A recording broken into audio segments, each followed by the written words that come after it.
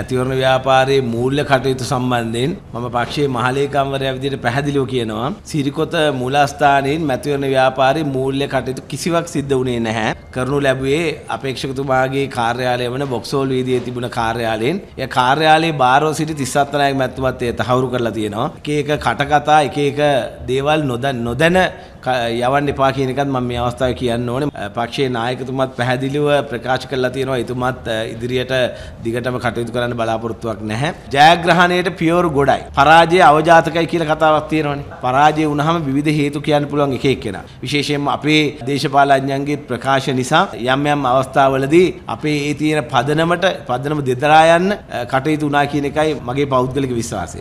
මම සතුටු වෙනවා සියලුම පෙරමුණේ හැම කෙනෙක්ම මේ වන විටත් ස්ථාවරව එක කොඩියක් යටතේ අපිත් එක්ක ඉන්නවා. ඒක පාර්ලිමේන්තු මැතිවරණය දක්වා අපි යනවා. ඒ සියලු නායකින්ගේ ආශිර්වාදය අපට ලැබෙනවා. කොයි විදියකවත් කඩන්න බෙදින්න දෙදරන්න අපි ඉඩ දෙන්නේ නැහැ. අපි සජිත් ප්‍රේමදාස මැතිතුමත් පෙරටු කරගෙන ගරු අග්‍රාමාත්‍යතුමාගේ ආශිර්වාදයත් එක්ක ඉතාමත්ම ශක්තිමත් මං හිතනවා එක්සත් ජාතික පෙරමුණක් හැටියට හෙට දවසේ අපි ලෑස්ති වෙනවා ඉදිරි මැතිවරණට මුහුණ දෙන්න.